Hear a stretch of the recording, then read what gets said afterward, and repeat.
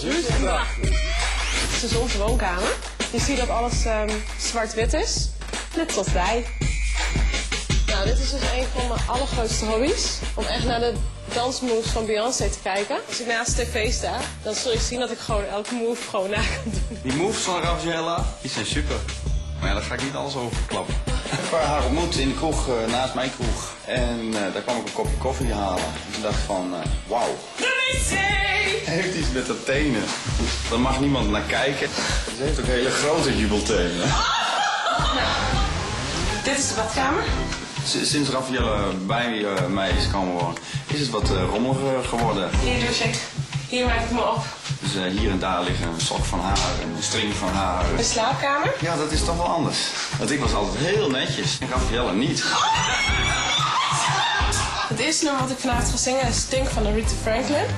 Het nummer is gewoon echt fantastisch. Je kan er echt heerlijk op dansen. En misschien heb ik tijdens het nummer nog wel een verrassing voor jullie.